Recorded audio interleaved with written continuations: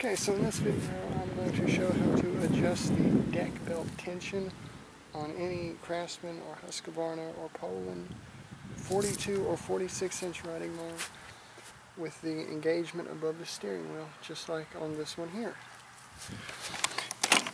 Alright, so if we come down here to the deck, here's your engagement cable and it hooks all the way back over there to a pulley. And when you go to engage it, pulls tension on this belt. Now this belt here does not have a lot of tension on it. You can see here it's got a lot of deflection. That's what that's called when you squeeze the belt like I am, which you can't see, but you see it, my hand moving here in the shadow. That's got a lot of deflection. To slip. This right here is where you adjust the tension.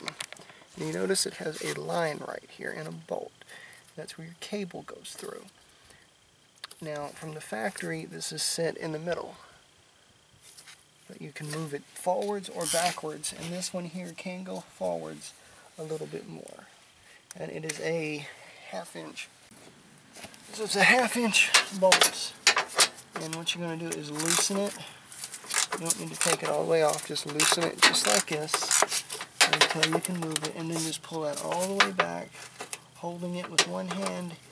You're going to take your ratchet or wrench the other hand and tighten it down while holding back on it.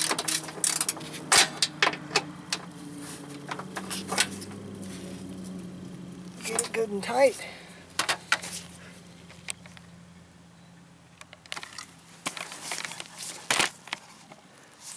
And now when you engage it, it's going to be a bit harder and there's a lot more tension on that belt. There's a lot less deflection. I can't close the belt in and touch it like this. If you can grab the belt and it touches, then you've got a wore out deck belt. But that's how you can buy time with a stretch deck belt or a loose deck belt is simply by adjusting this right here. And it will only go back so far. And when you get a new belt, you'll probably have to readjust it back to the factory setting, which is at this line right here because if you have it too tight, you risk breaking this cable.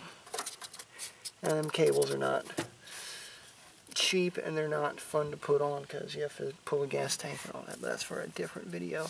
But you see here, that's how you can adjust the deck belt tension on a 42 or 46 inch new type Husqvarna built riding mower. If you have any questions, comments, concerns, leave them in the comments below and please consider subscribing if you want to see more content. And I hope you all found this video informative. And as always I will see you in the next one. Bye for now